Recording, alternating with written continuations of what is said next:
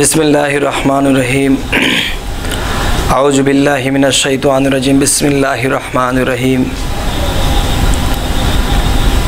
আমি এখন কিছু আলাপ করব। সেই আলাপটি হলো,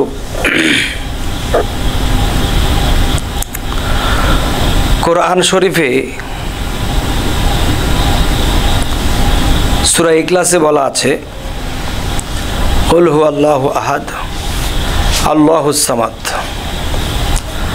আল্লাহুসামাদ শব্দের অর্থে আসে, আল্লাহ স্বয়ং সম্পূর্ণ আল্লাহর কোনো কিছুরই অভাব নাই। কিন্তু বলা হয়, আল্লাহ নিরাকার, আল্লাহর আকার নাই। তাহলে নিরাকার শব্দের অর্থ আল্লাহর আকার নাই। এ কথাটার অর্থ ঠিক নয়। এই পৃথিবীতে যারা বলতেছে, নিরাকার শব্দের অর্থ আকার নাই, এ কথাটা অতি সাধারণ বেশিরভাগ বলিয়া থাকে। যদি এই কথার কেউ বলে এবং আকার নাই শব্দটা অর্থ নামায় এবং বিশ্বাস করে, তারা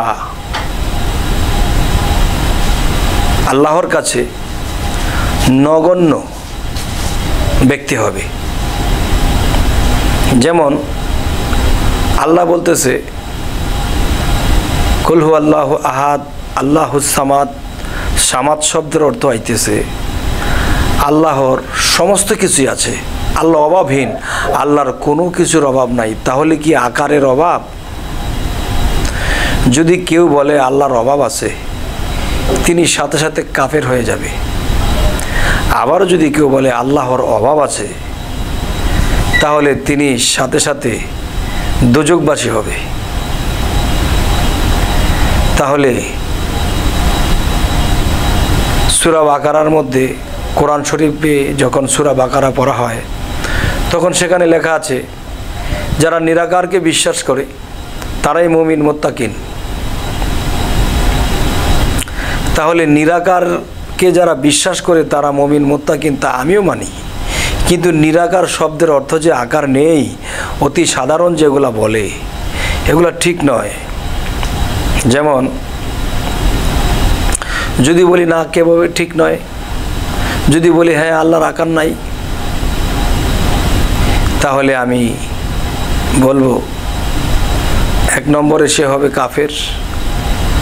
দুই নম্বরে হবে সে দুযোগবাসী।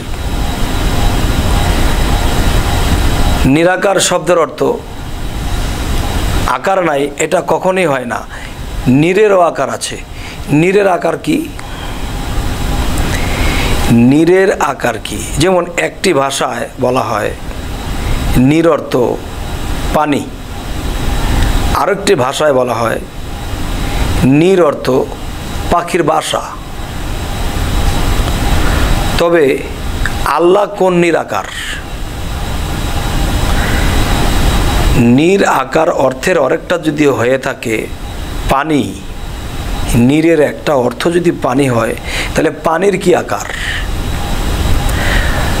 পানির নিজস্ব কোনো আকার নাই।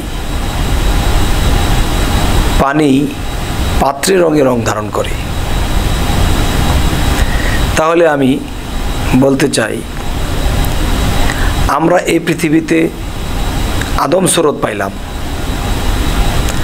এখন আল্লাহ বলতেছে, আমি তোমাদের সাহারগের চেয়েও আরও নিকটে। আবার অন্য অন্য সাধকের মতে পাওয়া যায়, এই শ্বাস প্রশ্বাসের সাথেও পরম রূপে আল্লাহ বিরাজমান। তাহলে নিরাকার শব্দের অর্থ আমরা কেউ কখনো আকার নাই বলব না। কিন্তু আকার আছে।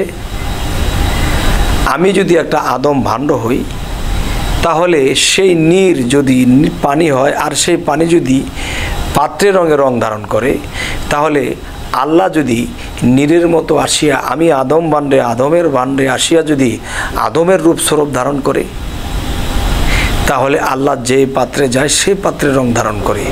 আদমের মধ্যে আসিয়া আদমের রূপ ধারণ করে। তাহলে বোঝা গেল আল্লাহর একটা রূপ পাওয়া গেল কি? আদম স্রোত। তাহলে একটা হলো শুধু আদম, আরেকটা হলো সুফি আদম। আল্লাহ বলছে যে সাধারণ আদমের মধ্যে আমি প্রকাশ নাই, আর যে আদম নিজেকে পবিত্র করল, আমি তার মধ্যে প্রকাশ হই। তার মধ্য করে আমার গুণ প্রচার করি, আমার গুণকে প্রকাশ করি। যেমন আমি আল্লাহ যদি কিছু বলি তাহলে হও হয়ে যায়, কুন হয়ে যায়, ফায়কুন ধ্বংস হয়ে যায়। তাহলে আমি পবিত্র আদমের ভিতরে, আদমের ভাণ্ডে গিয়ে আদমের রং ধরিয়া, আমি আদমের মুখ দিয়া কখনো বলে থাকি, হও হয়ে যায়। সমাধা হও হয়ে যায়, বিপদ হবে, হয়ে যাও। তাহলে আল্লাহর স্থানটি কোথায়? আদমের মধ্যে। আল্লাহর রং স্রোত কি? আদম স্রোত। তা বলে আদমকে আল্লাহ বলা যাবে না।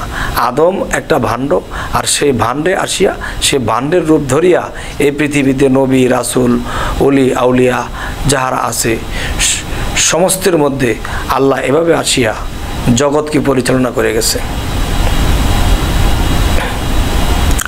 তাহলে আজকে আমার যে মূল বিষয় কথাটি হইল যে আমরা নিরাকার শব্দের অর্থ আল্লাহর আকার নাই, এমন কিছু বলব না।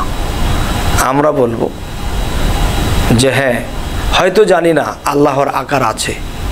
যদি বলি নাই, তাহলে আল্লাহর আকারের অভাব আছে। আর যদি বলি আল্লাহকে, আল্লাহর এই জিনিসের অভাব আছে, তাহলে আল্লাহ আমাদেরকে কঠিন সাজা দেবেন। কারণ আল্লাহ বলতেছে যে, আমি অভাবহীন, আমার সব কিছু আছে। তাহলে আকারও আছে। তাহলে সেই আকারটি কি? সেই আকারটি আপনার আদম ভাণ্ডের ভিতরে ভরা আছে, প্রকাশ নাই। আর সেই আদম ভাণ্ডের ভিতরে প্রকাশ হইতে হইলে কি করতে হবে? মুর্শিদ ধরতে হবে। মুর্শিদের কাছে গেলে মুর্শিদ আপনাকে সাধনা দেবে, আমল দেবে, নিয়ম কানুন দেবে এবং মুর্শিদের রূপের সাথে আমার প্রেমের খেলা হবে, প্রেমে ফানাফিল্লা হবে। সেই ফানাফিল্লার জগৎ থেকে আমার ভিতরে সে আল্লাহ রাসুল রূপে সাক্ষাৎ দেবে। এতটুকু কথা বলার জন্যেই আমি এই আলাপটি করলাম। তাদেরই উদ্দেশ্যে যারা বলে, নিরাকার শব্দের অর্থ আকার নাই। না, নিরেরও আকার আছে। আর সে আকারটি কি করে? আছে, সেই কথাগুলো আমি উত্থাপন করলাম। আজ এ পর্যন্তই। আল্লাহ হাফেজ।